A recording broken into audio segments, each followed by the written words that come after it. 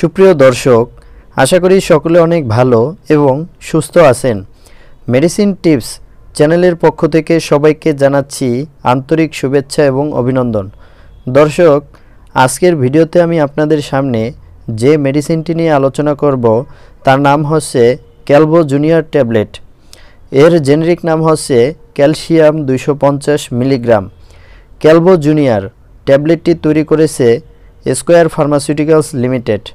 দর্শক, আজকের ভিডিওতে আমরা জানব ক্যালভো জুনিয়র ট্যাবলেটটি কী জন্য সেবন করতে হয়, অর্থাৎ ডাক্তারগণ কী রোগের জন্য রোগীকে প্রেসক্রাইব করে থাকে ক্যালভো জুনিয়র সেবনের মাত্রা ও খাওয়ার নিয়ম কী প্রতি নির্দেশনা সতর্কতা, পার্শ্বপ্রতিক্রিয়া, সাবধানতা, গর্ভকালীন এবং স্তন্যদানকালীন সময়ে এর ব্যবহার ইত্যাদি বিষয় নিয়ে বিস্তারিত আলোচনা করব।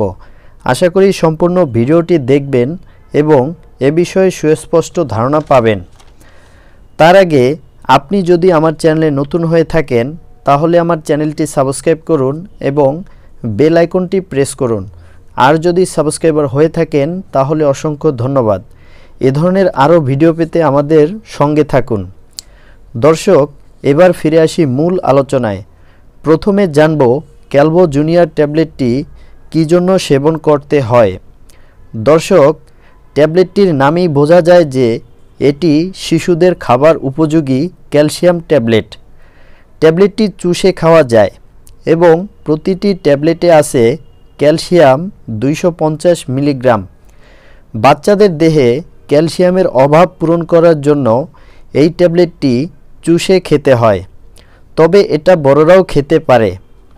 যে সকল শিশু কিশোর ক্যালসিয়ামের অভাবে দ্রুত বৃদ্ধি হয় না, খাদ্যে ক্যালসিয়ামের স্বল্পতা, অস্টিওপোরোসিস ও অস্টিওজেনেসিস রোগের চিকিৎসা এবং প্রতিকারে ক্যালভো জুনিয়র ট্যাবলেট ব্যবহার করা হয়। গর্ভবতী এবং স্তন্যদানকারী মায়েদের ক্যালসিয়ামের অভাব দূর করার জন্য ডাক্তারগণ এই ট্যাবলেটটি প্রেসক্রাইব করেন। ক্যালভো জুনিয়র ট্যাবলেটটি সেবনের মাত্রা হল, শিশুরা দৈনিক একটি ট্যাবলেট চুষে খাবে। কিশোর কিশোরীরা দৈনিক এক থেকে দুটি ট্যাবলেট খাবে। প্রাপ্তবয়স্করা দৈনিক দুটি ট্যাবলেট অথবা চিকিৎসকের পরামর্শ অনুযায়ী সেবন করবে। ট্যাবলেট অবশ্যই খাবার পরে খেতে হবে। এবার জানব ট্যাবলেটটি সেবনে কি কি পার্শ্বপ্রতিক্রিয়া হতে পারে। কারা সেবন করতে পারবে না, সাবধানতা এবং সতর্কতা ইত্যাদি বিষয় নিয়ে আলোচনা করব।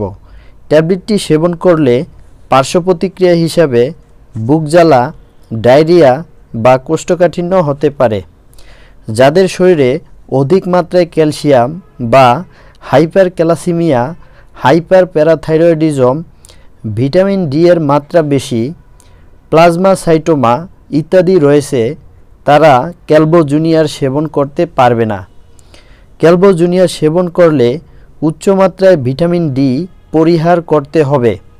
তবে গর্ভকালীন এবং স্তন্যদানকারী মায়েরা শরীরে ক্যালসিয়ামের অভাব পূরণ করার জন্য এটি সেবন করতে পারবে।